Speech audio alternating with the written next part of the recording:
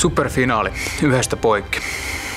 Nyt aletaan olla niin kuin kliimaksin, kliimaksin kohdalla, että, että kaikki suuret tapahtumat on kerrasta poikki. Mutta voittava joukkueen kasaaminen lähtee varmaan siitä synergiasta, mikä on ollut viikingeissä kaikkein tärkein asia, että joukkueet tulee yhtenäisesti ja viihtyy yhdessä ja kaikki ymmärtää, että, että mestaruus on se, mitä haetaan. Ja jos se jännittää sitä hommaa, niin sitten tämä pitää lopettaa. Et, et se, että hikikarpaloille tulee otsalle tai kainaloon, niin se on vain hyvä merkki. Niinhän se tulee, kun sä rakastutkin.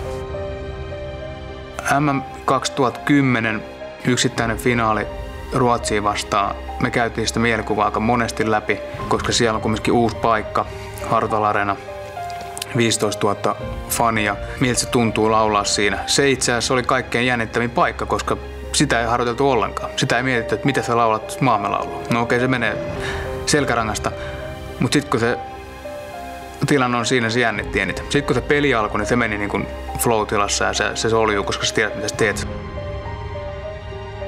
Paineensätökyky ja sankariviitta ja, ja tota, onnistuminen tiukassa paikassa, niin nostaa ihan niin kuin, tulee kylmiä väreitä. Se on niin siisti fiilis, että jos vaan pystyisi niin yksittäisestä kaupasta käynnistä tai jostain muusta niin saamaan niin ison kliimaksi, niin se olisi tosi siistiä.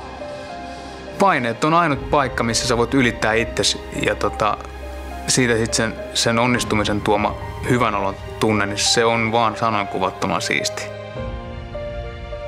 Katot siinä ystäviä ympärillä, katot taululle, katot yleisöä, niin siihen loppuu kiire. Siihen mestaruuteen loppuu kiire.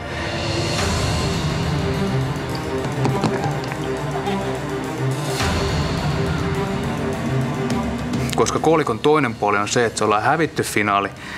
Siinä on tyhjä olo. Siinä on niinku todella paha olla ja sä mietit vaan, että hitto, että kahden viikon päästä alkaa reenit tai on maajoukkueen leiri tai sun muuta. Että et ei hitto, että tästä taas alkaa. Tai pahimmassa tapauksessa lähdet niinku himaa siitä autolla ja kummi puhkee, sit, se, sit sä oot siellä.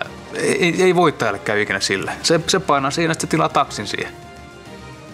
Kyllä se joka pojan unelma on nostaa sitä kannua, niin kun, on se sitten mikä vaan, on se kortteliliikaa tai NFLn Super, Super Bowli, että, ja kaikki haluaa tehdä sen vikamaali. Mä oon Timo Toivonen ja mä haluan voittaa tän.